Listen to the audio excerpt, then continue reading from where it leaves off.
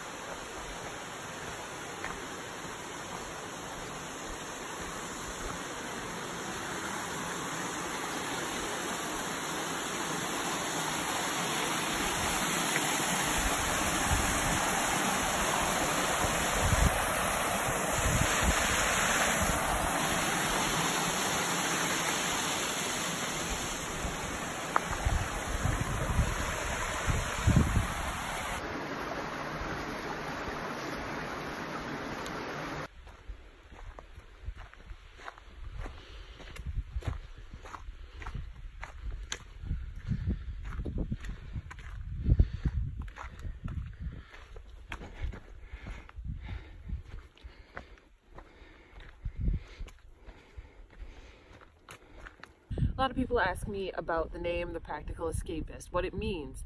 And my answer to that is it's kind of everything. A lot of people hear the word escapist and they draw a negative connotation to it because it usually means running away from your problems. The practical escapist isn't like that. For me, practical escapist means finding how you want to feel and pursuing that instead of trying to escape how you don't want to feel.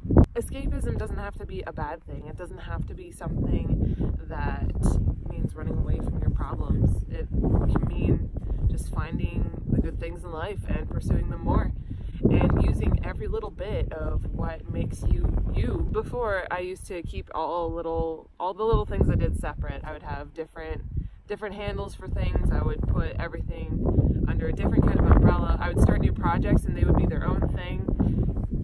And I thought, that doesn't make any sense. All of it's me. Why don't we put it that way? So that's what I did. These retreats that I take, I take them two times a year.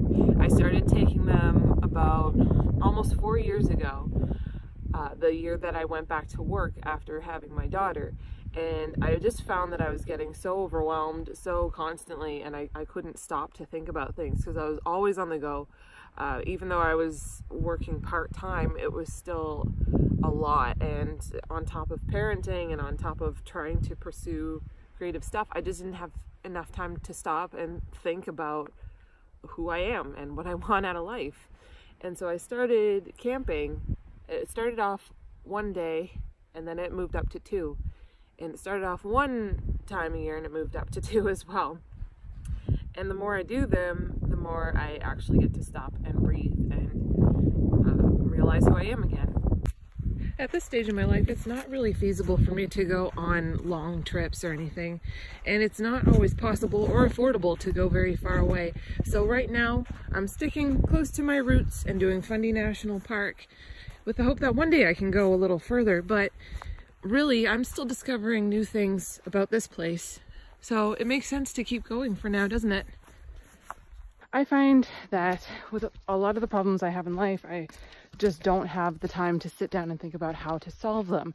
I'm a pretty decent problem solver, if you ask me, but I don't really get the opportunity to figure those things out. And then once problem after problem stacks up and I start to get overwhelmed, that's when I start to feel like I need to run away. And so these retreats help me to fix that and to sort out my problems and also to change perspective on a lot of my problems, which may not even be problems in the first place. It seems difficult to feel like your problems, your day-to-day -day problems, your work problems, your personal problems are that big when you're faced with this much vastness I mean, there are some problems that are definitely, definitely, absolutely too big to conquer without some kind of intervention, but sometimes a change of perspective can be really helpful.